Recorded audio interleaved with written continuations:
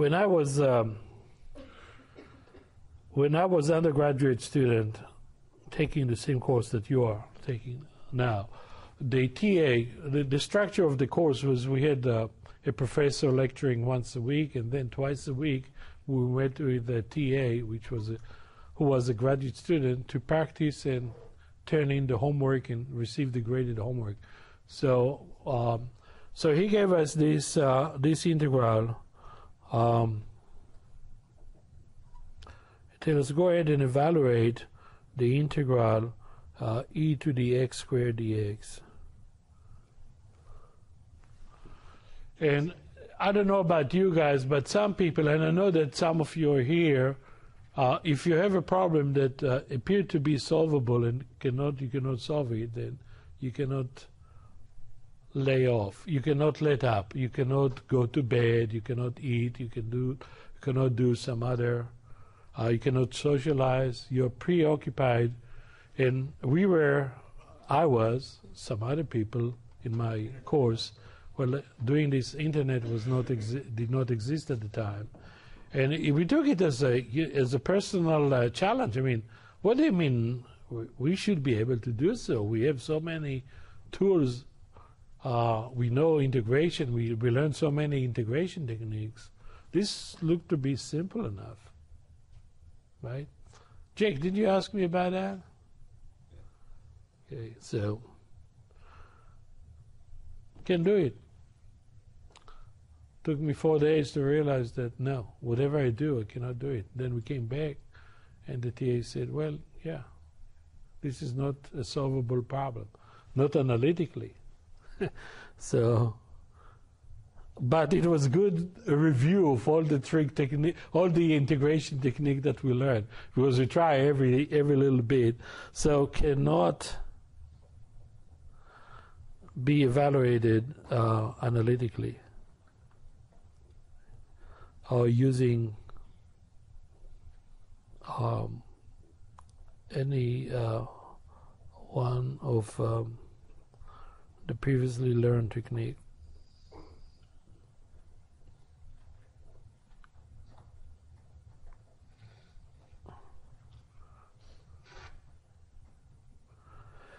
So, and let's make it uh, 0 to 1. Let, let's make it uh, definite interval. Another case which more close to reality, uh, hopefully many of you uh, become will become an engineer and and uh, or continue to to work in either science or engineering. A lot of time we receive data stream, and the data stream uh, need to be uh, integrated in one form or another. Uh, so you don't have even a function that you need to integrate. Now, the, a lot of time you need to do some you need to process information in real time. And a, an example would be, for instance, if you're getting constant data from, uh, well, in this case, will be a, a, missile, say a guided missile, uh, ground to ground to air, uh, and and you need to continue uh, to give it a constant feedback uh, as part of an automatic control system. So you need to process data in real time, whether it will be integration, differentiation, or any other kind of calculation. Um, and so you need to, you cannot stop and now uh, apply some kind of regression or other modeling techniques to come up with a function that model the acceleration or the velocity or the position of something like that. You need to look at the data and process it as quickly as possible. And that's where we're going to do integration uh, by approximation or numerical integration, which the next topic. Okay, so uh, we're going to start with uh, basic stuff. The first um, thing that we learn when we learn how to integrate, uh, we pretty much develop Riemann sum, if you recall, and we look at left-hand sum and right-hand sum uh, um, in technique to evaluate the area captured between a graph of a function and the x-axis. So if we have uh, some kind of curve, and this is the curve of y equal f of x, and we want to evaluate it, say from um, a to b on the x-axis. So this will be A, and let's say this will be B. So those are the boundaries. And we know that the integral will be the area captured right here. Um, well, one of the things that we can do is start dividing. And we can divide to 3 or, or 10 or 1,000. And we learn that the more we divide, the better estimate we have. Okay? So here's what we learn. Uh, well, actually, by definition, what is the uh, the integral, the definite integral? By definition, the definite integral is the limit of Riemann sum. So let's recall uh, the definition uh, of of um, the definite integral.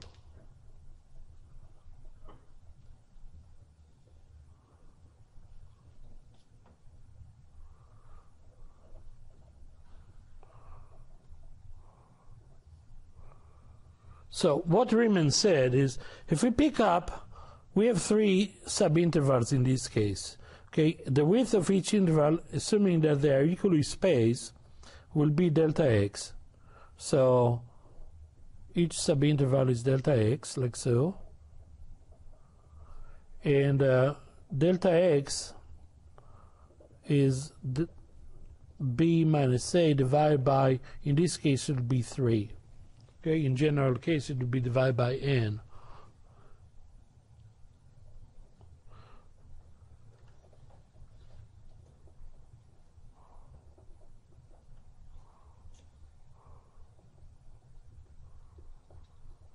Okay. Now, Riemann said if we pick up a value in each interval, not necessarily uh, the left-hand point or the right-hand point or even in the in the center. It can be anywhere inside this interval. So let's say this will be interval number one, this will be interval number two, and this will be interval number three. So we'll call this value of x x sub 1 star. With this value of x will be x sub 2 star, and this value of x will be x sub 3 star. Okay? So, and right here at the intersection between the value of x and the curve, see the value of y, the corresponding value of y. So this will be f of x sub 1 star. And right here, we have f of x sub 2 star. Oops. The parenthesis will be right here. And likewise, right here we have uh, f of x sub 3 star. And imagine that we have n subintervals like this. So by definition, the integral from a to b of f of x dx will be the limit as we take the number of subinterval to infinity. And now we're going to add. And we're going to add, it will be sigma, the sum, uh, and we go from 1 to n of all the value of x sub i, the index, star. In other words, this is a value inside the interval times the width of the interval delta x. So what happens if we let n goes to infinity? First of all, delta x becomes dx as it becomes very small. And what about x star, x sub i star? Do we really care where in an interval that is, is whose width is close to zero, where we position that value?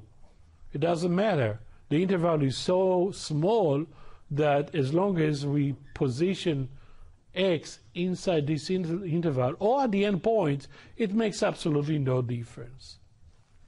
So this is the definition. Okay.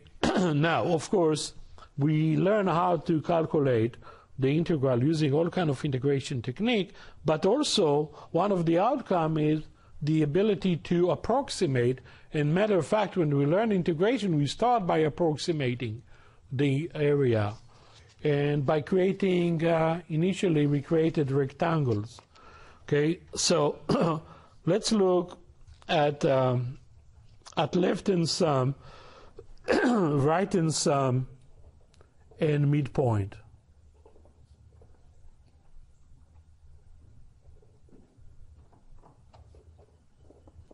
If you recall, in Calc 1, we gave, we gave those approximation uh, L sub the, um, uh, the notation L sub n, R sub n, and M sub n for left, right, and midpoint rule. And if you look at uh, the curve,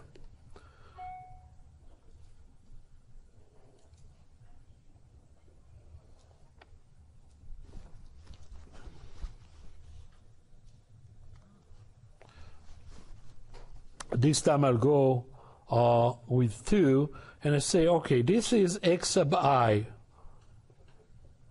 Just a, random. It doesn't mean that I divided only by 2. I, I, I have many subintervals like this, but I'm looking at, at two subintervals center at x sub i. So to the left you have x sub i minus 1, and to the right you have x sub i plus 1. Okay? And here I'm going to use uh, colors. So the left hand sum will be the value of this rectangle and this rectangle.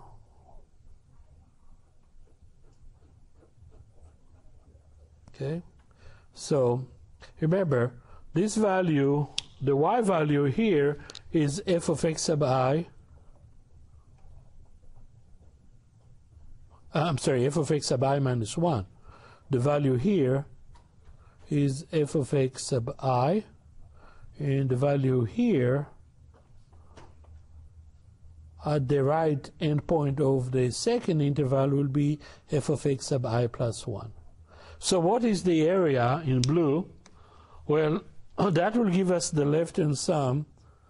It will be, for this particular interval, it will be uh, x sub f of x sub i minus 1 plus f of x sub i times the delta x. Delta x remains the same. Is the difference between these two. So you have delta x and delta x.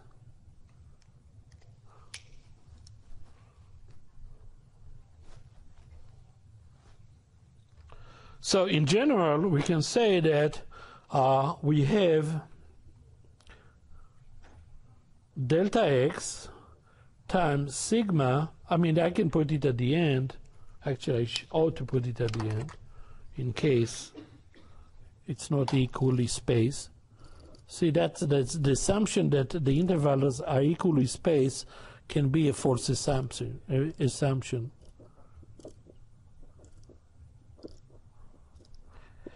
Especially if you collect real life data uh, at times the data won't come to you at equally spaced intervals.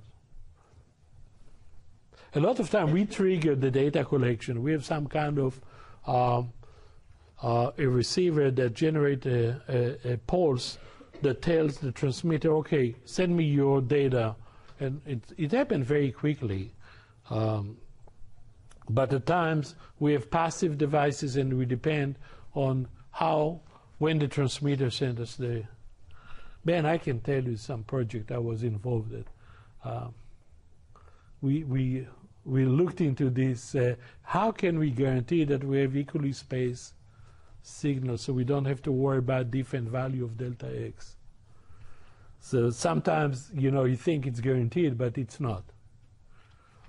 All right. So here we go. What do we have? We have sigma, and since we go from one to n.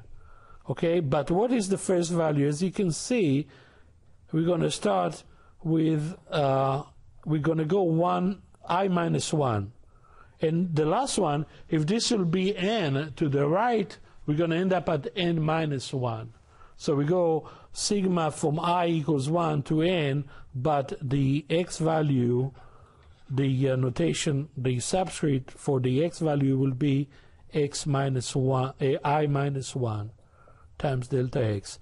So this is the uh, left-hand sum. Again, this is something you all learned in the previous course. And so is the next. If we want to evaluate the same area, but this time taking the value at each endpoint of the interval, notice that for these two, we're going to calculate the value at x sub i and x sub i plus 1. So r sub n will be sigma from 1 to n of f of x sub i this time, delta x.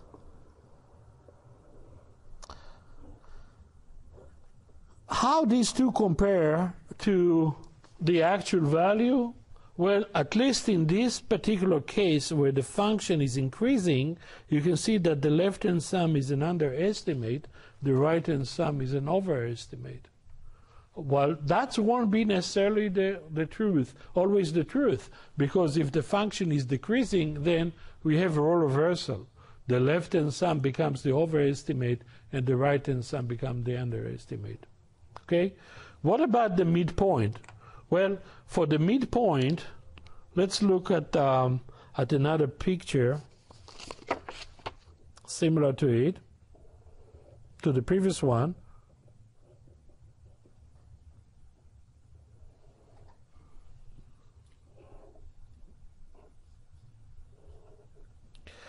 So this is x sub i, x sub i minus 1, x sub i plus 1. The middle we're going to say the value here will be x bar and x bar, and the index will be i to the left and i plus 1 to the right.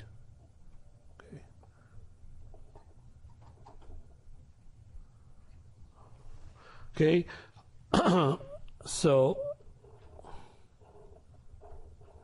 so x sub i bar will be the average of the one to the left and the one to the right, like so.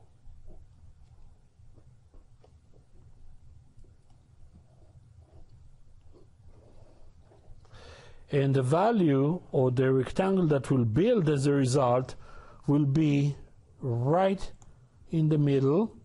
And we can see from this uh, image that we have to the left, we have an overestimate. To the left of the midpoint, we have an overestimate. And to the right of the midpoint, we have an under, underestimate. Actually, I shaded too much here. I shaded this little, this should supposed to be empty space. Okay, because this is the underestimate. So it goes like this. Okay? So you can see that this is a much better estimate because the overestimate and the underestimate kind of compensate each other. Now, uh, do we have overestimate compared to the exact value or uh, underestimate compared to the exact value? Well, this depends on the concavity, really, not on the increase decrease, but the concavity. Okay? as you can see. Uh, so let's see, what is the midpoint? M sub n. Well, it's going to be basically the same structure. We're going to have sigma uh, from 1 to n f of x bar sub i, the midpoint times delta x, like so.